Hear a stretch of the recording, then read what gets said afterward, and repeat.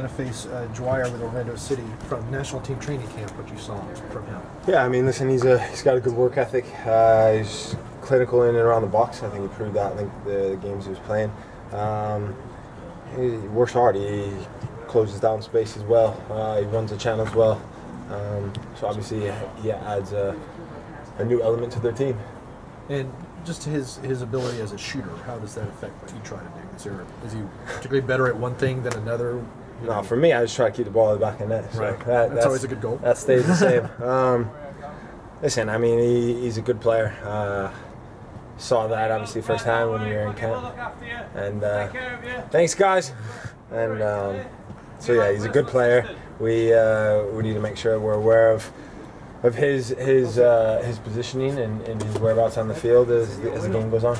And watching film of the last game against Orlando City, what did y'all learn that you need to improve upon for this? Yeah, I mean, listen, I think in any game you take some positives, take some negatives. Uh, there's times, you know, set pieces obviously we need to look at. We need to make sure we're stronger on those for sure. Um, and try not to turn the ball over in, in bad areas. Uh, keep keep possession of the ball, uh, secure the ball. Uh, and then when we have it, move it, move it quicker. Brad, in, in, in your experience, this is kind of off the track a little bit about what what what has what has been the, the most heated, intense rivalries, uh, soccer rivalries that you you've been uh, party to? Um, I've been fortunate to, fortunate to be part of a few. Obviously, the U.S. Mexico comes to mind.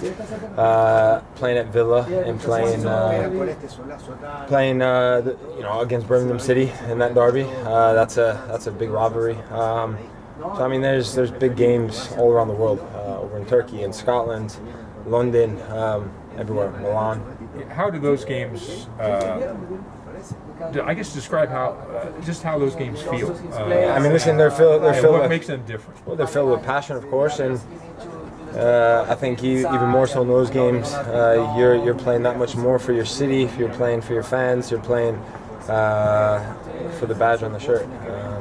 Those games they come with uh, a certain amount of intensity. They come with a certain amount of passion, um, hatred, if you like. Uh, so you're you're putting all those emotions, uh, and then on top of it, trying to play good soccer.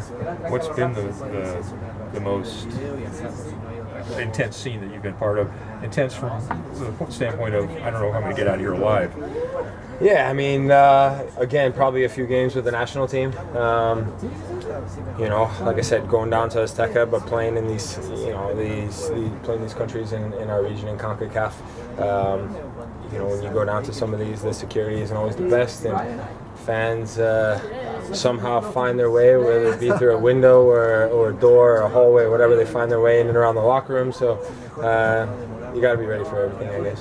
So I guess Atlanta, Orlando doesn't quite ri- rise to that level. I mean, listen, we we just played them, so Right. it, it, rivalries aren't just created uh, because you say so. Um, know, obviously, going down there, uh, getting three points um, in front of uh, an intense crowd with with our supporters, um, showing their support for us, it's going to make the Saturday uh, that much more special.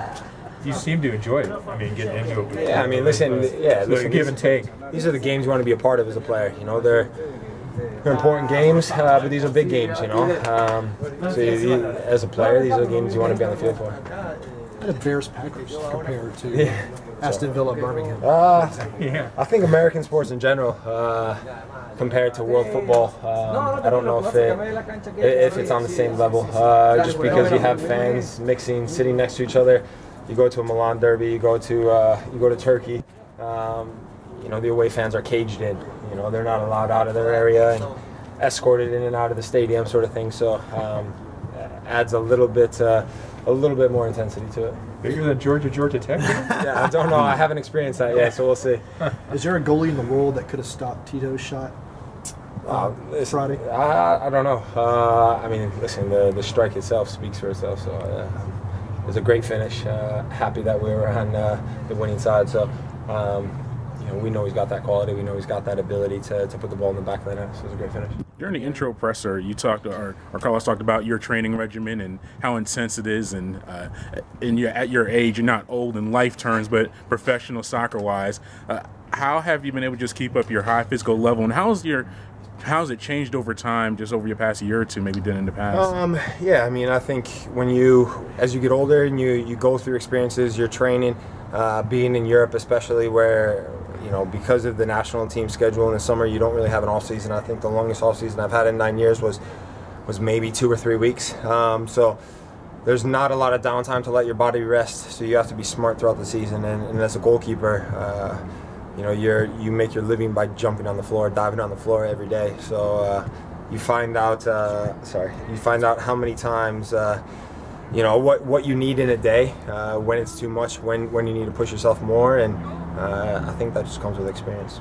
Is the American schedule different than maybe in your European uh, experiences as far as the training schedule, the amount of time, anything you've noticed so No, far? I mean, you, you know, you tend to have a day off during the week at some point, but uh, more or less, it's it's uh, it's pretty similar. Um, you know, obviously the the thing about MLS is the travel. So being on a plane on a Friday, playing on a Saturday, flying back on a Sunday, whereas in England, uh, I think we were either on a train or a bus. Uh, very rarely were we on a plane. So and you were back after the after the game. Um, but because of the country that we live in, uh, flights are necessary. So.